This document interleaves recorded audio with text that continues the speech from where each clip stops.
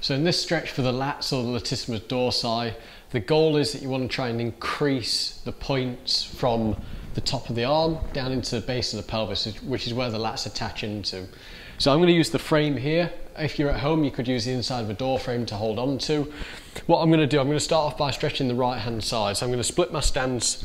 Right foot goes back behind my left foot.